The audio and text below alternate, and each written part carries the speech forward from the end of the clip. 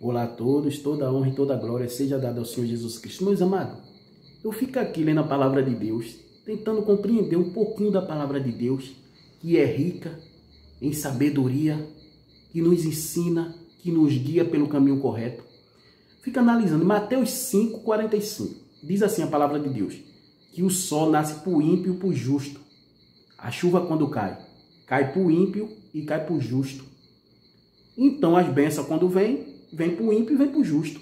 Quando vem o coronavírus, vem para o ímpio e vem para o justo. Quando vem o mal, vem para o ímpio e vem para o justo. Quando vem a morte, morre crente e morre ímpio. Por que vocês têm dificuldade de pregar a verdade? Por que vocês pregam que aquele que aceita Jesus está imune de tudo? Vocês não pregam? Quem aceitou Jesus, está resolvido os problemas, está imune de tudo. Por que vocês não largam de ser mentiroso? Vou logo começar. Jesus sendo Deus, qual foi, qual foi a felicidade que Jesus teve aqui na terra? Paulo, servo de Deus, morreu como?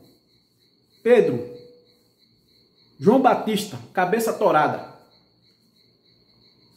Por que vocês não pregam isso? A verdade. Por que vocês não pregam que Jesus Cristo, antes de partir para o Pai, reuniu os seus discípulos, conversando com os seus discípulos, pregando para eles, disse assim: No mundo tereis aflições, mas tem bom ânimo, que eu venci o mundo. Jesus Cristo não está prometendo que aqui vai ser bênção, não, vai ser maravilha, não. Aqui é luta. Todo dia tu estás lutando para sobreviver aqui na terra. A gente era para viver na terra, mas hoje em dia a gente está lutando para sobreviver. Você sai de casa não sabe se você volta. Vocês têm dificuldade de pregar isso. E Jesus Cristo, sabe o que Jesus disse aos discípulos dele? Muitos de vocês aqui vão ser perseguidos por mim, vão morrer por mim. E o que foi que aconteceu? Pedro, pegaram Pedro, crucificaram Pedro de cabeça para baixo. Teve discípulo de Jesus Cristo e saíram arrastando ele, puxando ele, uma carroça. E se despedaçando no corpo, braço para um lado, pé para o outro. Você está compreendendo? Jesus Cristo não tem molezinha aqui. Esses falsos profetas aí vêm pregar moleza aqui. Não, que quando você é crente, olha, quando o cara é dizimista, Deus supre sua necessidade, não falta nada para a pessoa. Um bocado de dizimista, tudo passando fome. Um bocado de dizimista passando necessidade. E os ímpios comendo lagosta do bom e do melhor. As coisas aqui na terra, meus amados. Você quer comer o bom e do melhor? Trabalhe para ter suas coisas. Você quer ter uma boa casa? Lute, trabalhe para ter sua casinha. Tenha sonhos, tenha objetivo. Nada é fácil não. Jesus Cristo disse, a gente vai, Deus disse, a gente vai viver do suor do nosso trabalho, então temos que trabalhar para sobreviver.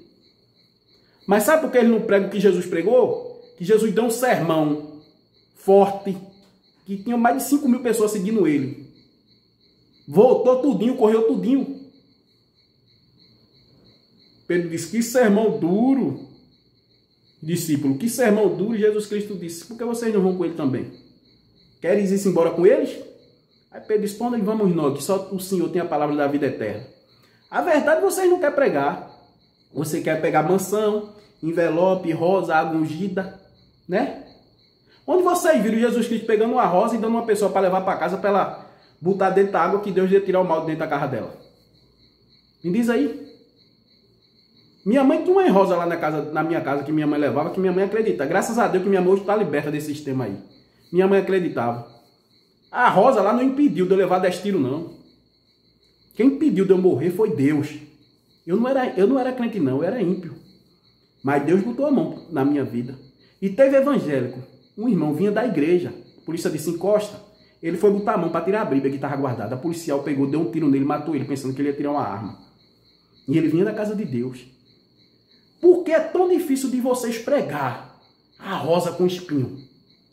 Por que é tão difícil de vocês Pregar a verdade para as pessoas, para as pessoas ter uma, ter uma base, uma base em cima da palavra verdadeira de Deus. Dizer, eu tô, eu tô com Deus, eu sei que vou passar por sofrimento, eu sei que vai ter luta, eu sei que vai ter barreira, mas no final eu ganho a coroa da vida eterna. Porque a maior bênção de Deus para a vida, para nossas vidas, irmão, está no céu. Irmão, quando a morte vem, vem para o ímpio e vem para o justo. Olha, tá assim, ó, vários pastores morreram com coronavírus que você pesquisar aí na internet você vai ver.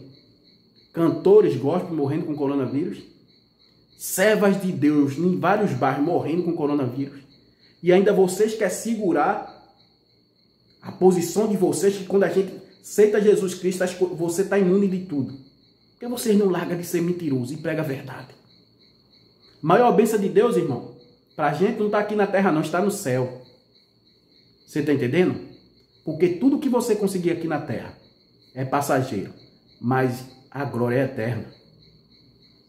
Você, eles não prega que é para você buscar o reino de Deus, é para você se arrepender dos pecados, para ser salvo, ter uma vida de comunhão com Deus. Ele não prega isso. Eles pregam se você for para a igreja sete dias da semana, Deus te vai te dar uma benção. Se tu der 100, Deus vai te dar 200. Campanha da casa própria, campanha do emprego. Quer dizer que Deus só serve para isso, para arrumar emprego, para dar casa, para dar carro. Só serve para isso. Vocês, lote de falso profeta, não mandem em Deus não. Deus fala o que ele quer, como ele quer, na hora que ele quer. Do jeito, do jeito que Deus cura o ímpio. Deus cura o justo, Deus cura o ímpio. Quando vem um milagre, um milagre vem para o justo e vem para o ímpio. Tem pessoas que não acreditam nem em Deus, tem ateus aí, sendo curado. Tem ateus aí, pegou coronavírus e hoje em dia está curado. Está curado. E pessoas evangélicas morreram com essa, com essa peste.